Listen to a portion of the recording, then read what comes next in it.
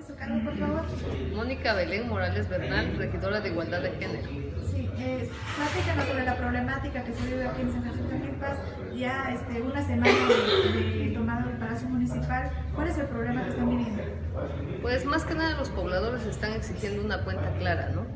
Eh, lo único que le han pedido a la presidenta es que se presente aquí en la explanada, que hable con ellos, que aclare ¿no? cuál es el problema eh, con su cabildo, porque digo, estamos cinco regidores aquí y pues ella tiene a cuatro más, entonces estamos cinco y cinco, ¿no? Es una situación interna que se detonó por una situación de un presupuesto de egresos, donde pues obviamente se quiere imponer a modo y la contratación de un este, grupo un corporativo que se llama Integra, que es pues de Alfonso Esparza, que sabemos pues de alguna fuente que tiene pues ahí antecedentes penales y pues es lo que eh, nosotros no nos gustaría no estar involucrados después en un desfalco de este municipio y por lo tanto pues es la parte que nosotros exigimos, ¿no?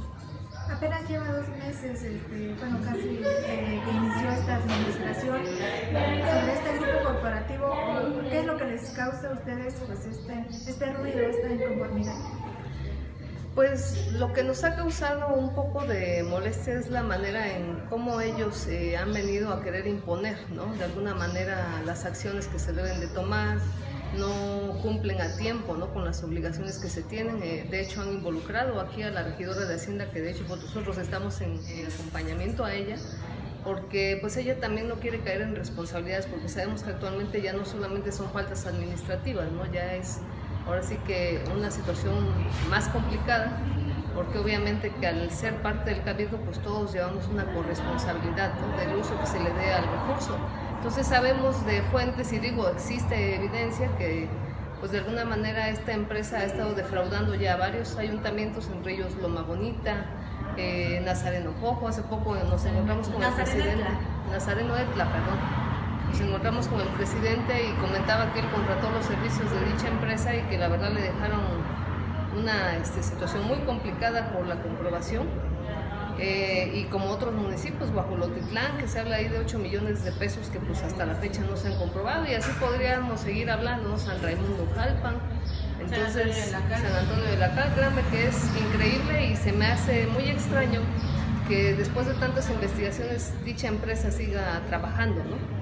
¿Esta empresa pertenece a un político? Pues es lo que se comenta, ¿no? Que hay intereses y fines políticos ahí y que por eso pues casi nadie hace caso, ¿no? El hecho es que nosotros también ya hemos sido víctimas de amenazas, de que nos estén amedrentando, pero no vamos a dejar de levantar la voz. Yo creo que San Jacinto se merece una administración limpia, porque ese fue un compromiso de campaña que hicieron, pues en este caso la planilla de Morena que ganó.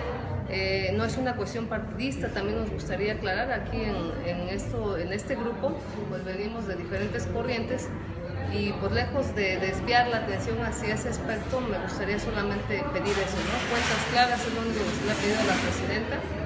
Eh, nosotros no estamos ahora sí con la idea tampoco de dejar a la compañera Gisela, que ella es la regidora de Hacienda, para que la involucren ¿no? en una situación tan complicada como es esta. Usted, usted es la regidora de Hacienda, su nombre por favor? Así es, su servidora Gisela Lilia Pérez García, regidora de Hacienda de este municipio de San Jacinto Amilpas. Al grupo, al grupo este, que quiere contratar, ¿para qué fin este, busca contratar a la presidenta? ¿Con qué objeto? Definitivamente tienen el control de toda la asesoría contable, financiera, jurídica y técnica. Prácticamente tendrían el control de todo el recurso eh, de este municipio. Estamos hablando de eh, que el presupuesto es de más de 43 millones, pero ellos quieren llevarse el 10% para asesoría técnica, jurídica y contable, como lo mencionábamos. La situación está en que pues no se nos respetan también las atribuciones como regidores. Si bien es cierto, este, toda aprobación del presupuesto tiene que pasar por el cabildo, a propuesta de la presidenta. Entonces, ellos siempre nos han intimidado, siempre han subestimado nuestra capacidad. Sin embargo, este, las cuestiones contables son muy cuadradas. Aquí estamos hablando de principios de transparencia y es lo único que queremos, que se hagan las cosas conforme a ley, conforme a ley, como mi partido lo, propuso, yo estoy a favor de los principios de la planilla de Morena y, por, y estoy en desacuerdo a que se imponga, se imponga un corporativo de más de 12 personas y sabemos que, que, los líderes este, pues tienen aquí intereses personales, ¿no? Y, y no se trata de que vengan aquí a, a ordeñar el recurso del, del pueblo. ¿Convocaron a sesión para determinar si se autorizaba o no esta empresa? ¿Sí se convocó? No. No fue así. De hecho, este, marcaban tiempos el 15 de febrero para entregar eh, como último día este, ese presupuesto. Nos citan a una reunión este, el día 14, nos hacen de conocimiento para que firmemos. Este, nosotros propusimos que fuera una sesión ordinaria para que se analizara el tema. Yo como regidora de Hacienda este, le propuse y le pedí incluso de forma escrita a nuestra presidenta municipal que proporcionara la información para el desglose analítico. ¿Por qué? Porque cada una de las partidas es muy importante y necesitamos analizarlas. Esa parte es una de las, nuestras atribuciones. Este, revisar toda la información, tener el soporte para legislar esa parte, ¿no? Entonces, ella hasta el día de hoy no me ha proporcionado eh, estados financieros, eh, cuenta pública, avances en gestión, ni siquiera la plantilla de personal. Documentos muy importantes para el análisis de, de, ese presupuesto. Sí, buenos días, mi nombre es Jacinto Juan Caballero Vargas. Actualmente me desempeño en la regiduría de Parques y Jardines. Yo vengo representando al Partido de la Revolución Democrática y efectivamente, ¿no? como lo comentan las compañeras, estamos aquí por una causa que es la situación que origina toda esta, esta problemática aquí en el municipio. Estamos en apoyo a la compañera Gisela y más en apoyo también a la población, ¿no? que se merece, yo creo, saber la situación que estamos pasando dentro del Cabildo. Hay una situación de eh, una problemática a donde hay un corporativo que realmente, eh, como ya lo sabemos, ha manejado los recursos en varios municipios, ha desfalcado a municipios eh, a lo que nos interesa a nosotros es eh, que se aclare toda esta situación, ¿no? Y también, ¿no? Por otro lado, también eh, no se vale el hecho de que esto no es nada personal, ¿no? Ni en contra de la presidenta, ni con los otros regidores. Yo creo que está fuera de, la realidad el hecho de que estén golpeando en forma personal a cada una de las compañeras. Yo creo que aquí lo, el, problema es la situación de, del, del recurso inclusive la población está inconforme por la situación. Y como se comentaba ayer en una reunión que tuvimos, ¿no? la situación era de que viniera la presidenta junto con, con su cabildo que, que está con ella ahorita para dar una, una, este, claridad a todo esto. Mi nombre es Novia Betsaida Cruz García. Yo ahorita desempeño el cargo de regidora de salud y deporte y sí, sí hemos recibido amenazas.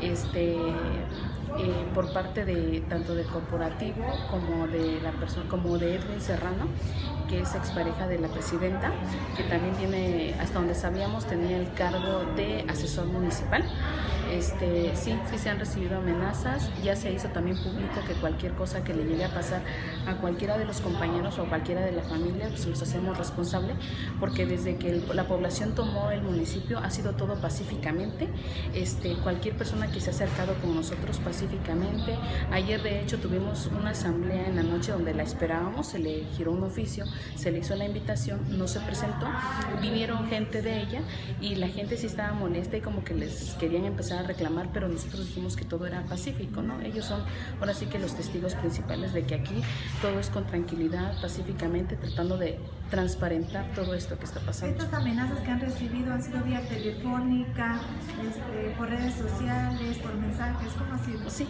por vías telefónicas. ¿Les han llamado? Sí. ¿Qué compromisos que ya tienen o como hemos sabido que se manejan es a través de que le financiaron la campaña?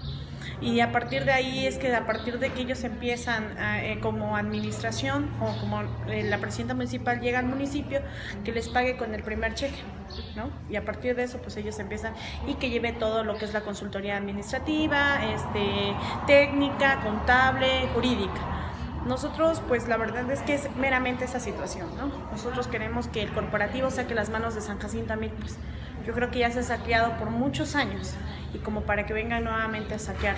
Ella decía algo que la población le molestó mucho, que ella nada más venía de paso, que eran tres años y ella se iba. La gente lo toma porque dice, pues nada más viene, roba y se va. Nosotros queremos que las cosas se hagan bien. La gente del municipio de San Jacinto Milpas vino y tomó la presidencia municipal, el DIF y el y la Casa de la Cultura. En ese énfasis dijeron que querían que hablara con nosotros, que viniera y que hablara y que diera la cara ante, ante el pueblo, ¿no? Y eso es lo que nosotros queremos, que lleguemos a, a trabajar coordinadamente, coadyugando trabajos, no es un tema político, estamos cinco regidores de diferentes corrientes políticas y que lo único que queremos es trabajar, trabajar a bien y a favor de nuestra gente de nuestro municipio. Estamos hablando de las colonias y cabecera municipal. Ok, son ocho días, el martes de hace ocho días se tomó en la noche, tomaron la determinación los pobladores que se tenía que tomar el municipio y dejarlo a resguardo. Lo único que nosotros hicimos fue traer al notario público, porque ella inclusive daba en una declaración esa misma la noche que ya había saqueos, que ya había llevado ese dinero, que ya había llevado ese cómputos, cuando si en la, en la oficina de presidencia municipal está cerrado por dentro y ella estaba dentro y salió por la puerta trasera. Lo que nosotros únicamente hacemos es venir y traer al notario público para que el notario público cerrara y que diera, determinara que pues no se había sacado absolutamente nada, ¿no? ¿Qué es lo que pedimos? Pues trabajar trabajar de una manera ordenada. Si ustedes se dan cuenta, ahí están los compañeros de cada una de las regidurías, de las áreas administrativas, viene la gente y se les da la explicación y ellos siguen laborando, porque aquí es su centro de trabajo, no es una casa particular. Aquí es donde ellos tienen que estar laborando, ¿no? y piden la intervención. Ah, pedimos, claro que sí, la intervención del gobierno del Estado, del señor gobernador Alejandro Murat y a la Secretaría General de Gobierno. ¿No? que nos den el apoyo y que pues eh, tengamos una mesa de, de, trabajo y también una mesa para poder platicar y que realmente esta situación se, se tenga que favorecer a nuestra gente.